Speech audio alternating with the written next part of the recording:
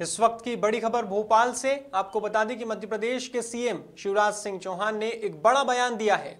उन्होंने एक वीडियो जारी कर वीडियो में जानकारी दी है कि इंदौर सहित भोपाल में पुलिस कमिश्नर प्रणाली को लागू किया जा रहा है।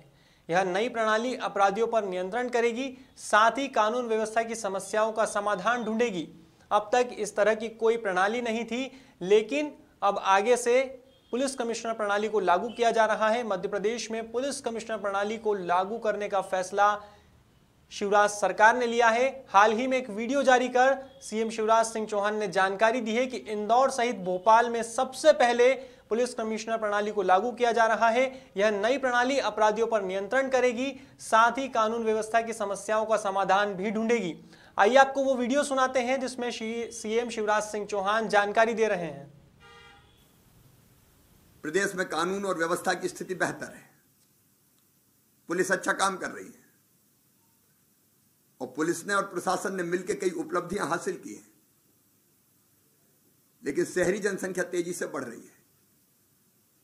महानगरों का विस्तार हो रहा है भौगोलिक दृष्टि से भी। और जनसंख्या भी लगातार बढ़ रही है। इसलिए कानून और व्यवस्था की कुछ नई समस्याएँ पैदा हो रही है। उनके समाधान और अपराधियों पर नियंत्रण के लिए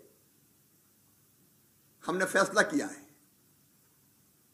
कि प्रदेश के दो बड़े महानगरों में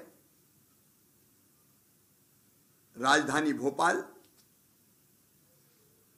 और स्वच्छ शहर इंदौर में हम पुलिस कमिश्नर सिस्टम लागू कर रहे हैं ताकि अपराधियों पर और बेहतर नियंत्रण कर सकें।